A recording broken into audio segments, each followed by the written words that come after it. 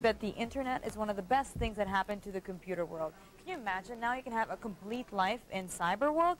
Let's start with network gaming. Basically for the teens, no? Kasi ang network gaming, ang gaming per se, starts from home, from the house, no? Nakakapaglaro. Some people can play on their own in the house. Tapos uh, with uh, with the computer as their opponent. But uh, with the of yung, yung mga network cafe, um, they were able to play interactively with other players. Um, other players who want to play the same games. No? Some of the most, well, right now the most popular one is Counter-Strike. And then there's a game called Red Alert. Ano naman siya, uh, war strategy game naman siya. And so with uh, StarCraft and there's a Flashpoint, kasi most of these games, no, uh, what it gives to the players is yung feeling na they can actually be able to play these games, yung mga war games, without actually going into war. Our gamers headquarters is a network gaming and internet gaming, uh, internet gaming area for uh, teens and uh, adults alike na you know, it's a lugar, lugar siya para pwedeng puntahan ng mga bata at saka mga matatanda para mag-use ng internet or they can also play network gaming games. No? Tapos uh, pwede sila mag-chat with uh, some of their friends locally and abroad and send email to their loved ones. To cut down on your telephone charges, go online and send that email to your friend, significant other, or relative who may be in the province or overseas. You may even chat with them real time. You would only need web cameras, microphones, and speakers. Chatting naman, it's uh, when you talk to your friends locally or abroad with the use of the computer.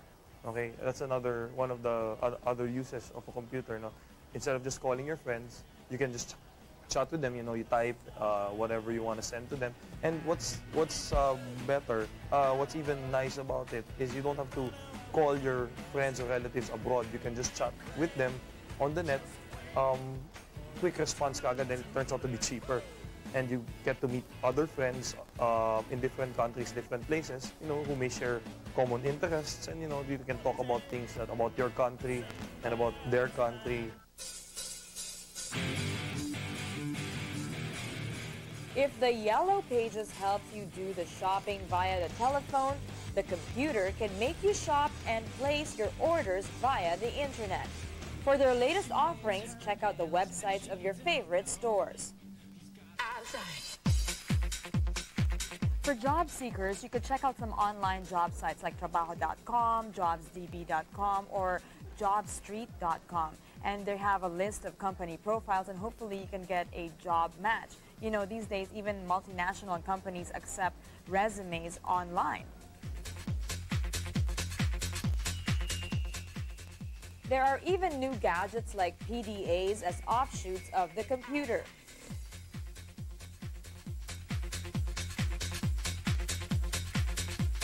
Those who have enjoyed the Microsoft softwares, there's another exciting program they've issued which recognizes your voice and allows you to literally dictate to your PC. One of the technologies we've incorporated in Microsoft Office XP is speech recognition. It's part of our effort to make the interface of the user and the computer a bit friendlier. So now you're able to take command of the menus by using your voice or be able to dictate a letter and have the computer type it out for you. Didn't I say you can have a serious one-on-one -on -one affair with your computer? Because it's so complete, so functional, and so interactive